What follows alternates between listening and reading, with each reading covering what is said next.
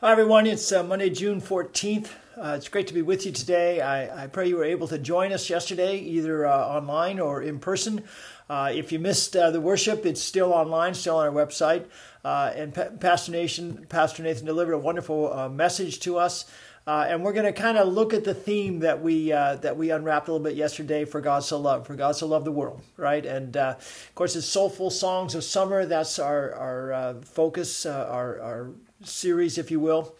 Uh, and so we're looking at various songs. I'm excited about that because I think that sometimes songwriters, poets, uh, they use words that take the things of God and touches our heart with them uh, in, in, a way that maybe just just straight words couldn't do. Right. Uh, uh, so um, that, that that was a focus. Um, just let, me read the beginning of the song real quick, and then we want to go. I want to go to Isaiah 55. So it says, "Come, all you who are weary." Come, all you thirsty, come to the well that never runs dry. Drink of the water, come and thirst no more. Come, all you sinners, uh, come find his mercy. Come to the table, he will satisfy. Taste of his goodness, find what you're looking for. And then it says, For God so loved the world. Uh, there was a famous Christian that lived a long time ago, uh, and um, and he said something like, um, "Every human being is always searching and never finding, uh, apart from Jesus." apart from the true God, huh? And, and that's really true. We, we look in so many different places for the water to fill us up, huh? Uh, for something uh, to, to fill our soul. Uh, and we go from one thing to the other. Um, it, it, it, might be um, it, it might be alcohol. It, it might be work. Uh, it might it might be so many things. A particular person in our lives. Uh, whatever it is, it's if we look to that to, to fill up our soul, um, will always come short, uh, and and so we'll all, always be thirsty. Uh, but Jesus, He calls Himself the water of life, uh, and the living water. Huh? And, and, so in Him we can be filled up. We can be what we were meant to be. Uh, and and that's that's the story that God gives us that we were created to have relationship with Him. Uh, we lost that uh, through sin, and we can't find our way back. So God comes to us, and in Jesus He connects us to God again. God is the water that can fill our soul because we were made like a lock and a key to only be filled up, only be complete in this relationship with Him and life with Him. So let, let me read. I'm going to take two days to go through this section from Isaiah 55, and, and uh, here's the first part. It says, Come, all you who are thirsty, come to the waters, and you who have no money, come buy and eat. Come buy wine and milk without money and without cost. And so, this is the first amazing thing about this water that God offers us, this water of life, this one thing that can fill us up, fill our souls. Um, it's not something we can buy.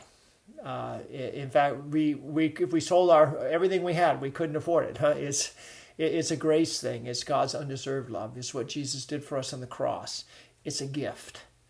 Uh, and and when we see this, uh, and when we, we we understand this, it is such an amazing reality that God comes to us. And, and, and, by the way, we, we can't find our way back to God, right? Uh, the Bible says that we're dead in our trans, transgressions and sins. We can't know God of ourselves, huh? Uh, Jesus says that uh, no, no, one can come to the Father unless the Father draws him to himself. Huh? And God certainly would have all people be saved, come to a knowledge of the truth. And his Spirit uh, uh guides us to him. Um, and, and, yet there is that, that, that reality as well. Um, that that uh, he won't make us drink. He won't force himself on us so that we can receive the gift uh, or we can reject it, right? Uh, and, and, so that's what faith is all about to trust uh, this relationship with God, to receive this relationship with God. But it's free, it's absolutely free what Jesus did for us on the cross. Uh, washed us clean in his blood so that we can have connection with God again as, as his dear children. Uh, so this this goes on. So after it hits that grace thing, it says, "Why spend money on what is not bread, and your labor on what does not satisfy? Listen, listen to me, and eat what is good, and your soul will delight in the richest of fare."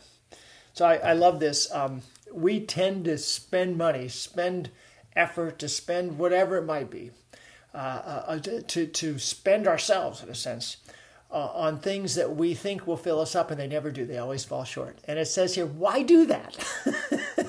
why spend yourself on on things uh, that that will not fill you up, on things that will only disappoint you, on things that will only put you in jail, uh, whatever that jail that, that that might be, right? Um, when God offers you the real deal, And it's absolutely free to receive it by faith and, and to live in it.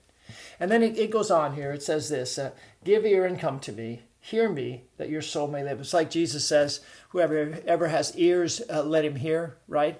Uh, so that your soul may live. I will make the soul, the very essence of who we are, right? Uh, so that we might live. Have life with God, the way, not just bios life, the pumping heart, but life with God that every moment and then finally into eternity. I will make an everlasting covenant promise with you, my faithful love promise to David. Uh, and, and, so the, God promises it's it's a it's a relationship promise like a marriage, right? And He says, "My covenant I will make with you, and I will be your God, and you will be my people." Uh, so uh, let, us let, pray. Uh, Father, uh, we thank you um, that in Jesus, the water of life, you come to us. And by your Spirit, you whisper to our hearts, Come, receive, drink this water of life. It's absolutely free. Uh, and, and I give it to you. Uh, so that you might have life in me. We pray, Lord, that your Spirit every day might empower us to receive this, to drink from it, and, and to live in it, uh, and to share it. We pray in your name. Amen. Okay, we'll uh, see you tomorrow. May God be with you. Bye bye.